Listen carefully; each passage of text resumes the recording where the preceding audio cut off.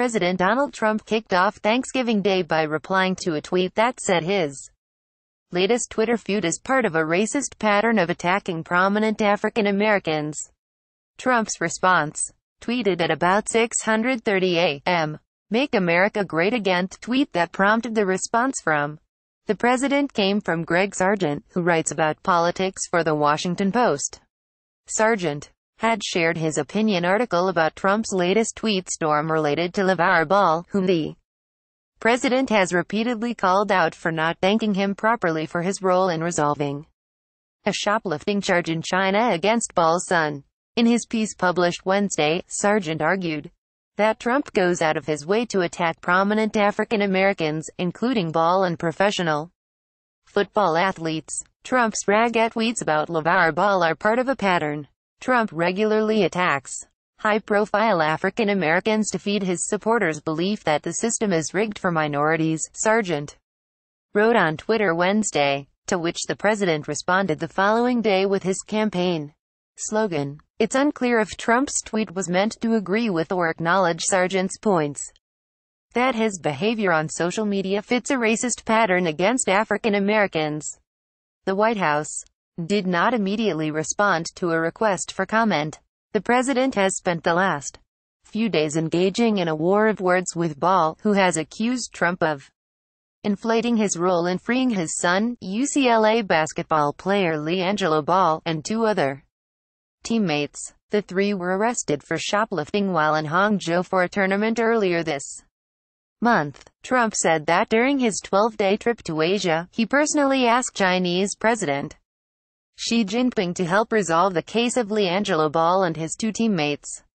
After returning to the United States, Trump wrote on Twitter, referring to himself in the third person do you think the three UCLA basketball players will say thank you to President Trump? They were headed for 10 years in jail asked by ESPN later about Trump's role in securing his son's release, LaVar Ball said who? What was he over there for? Don't tell me nothing. Everybody wants to make it seem like he helped me out. During a testy interview with CNN's Chris Cuomo Monday night, Ball again questioned Trump's role in his son's freeing. It wasn't like he was in the US and said, okay. There's three kids in China, I need to go over there and get them, Ball said. That wasn't the thought process. In response, the president fumed, often in the form I've pre-done tweet storms. At one point, he said he should have let LiAngelo Ball and his teammates stay in jail. At about 5.30 a.m.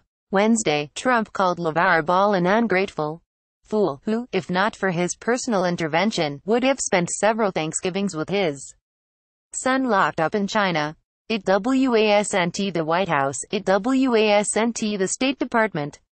It wasn't Father LaVar's so-called people on the ground in China that got his son out of a long-term prison sentence it was me. Too bad LaVar is just a poor man's version of Don King, but without the hair, Trump said. Curiously, the president resurrected attacks on the NFL a few minutes later the NFL is now thinking about a new idea keeping teams in the locker room during the national anthem next season. That's almost as bad as kneeling. When will the highly paid commissioner finally get tough and smart? This issue is killing your league. Sargent wrote that the immediate segue to football players, whom Trump has repeatedly criticized for kneeling during the national anthem, shows a clear pattern of a public attack on prominent African Americans. It is true that in some of these cases, Trump was attacked or at least criticized first. But it's hard to avoid noticing a gratuitously ugly pattern in Trump's responses, in which Trump vaguely suggests either that his targets are getting above their station, or that they're asking for too much and are insufficiently thankful for all that has been done for them, Sargent wrote.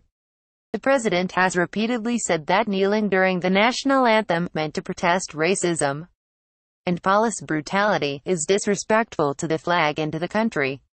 Last month, Trump drew criticisms over his condolence call to the widow of Sergeant La David Johnson, who was killed with three other soldiers during an ambush in Niger. Myesha Johnson said that, during the call, the president told her that her husband knew what he signed up for. She also said that Trump couldn't even remember her husband's name. Trump disputed the slain soldier's widow's account, saying in a tweet I had a very respectful conversation with the widow of Sergeant La David Johnson, and spoke his name from beginning, without hesitation.